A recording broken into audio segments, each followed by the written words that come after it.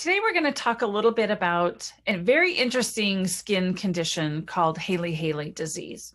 It's an autoimmune condition that is fairly rare, but does affect people of a variety of ages. It's pretty equally distributed between men and women and does affect children.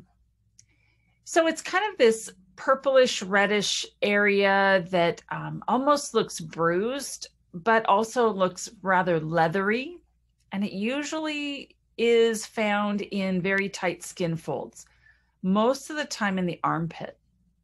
It can be very irritating, it can be um, slightly painful. It's also very um, inflamed. And that's where that purplish reddish color comes from.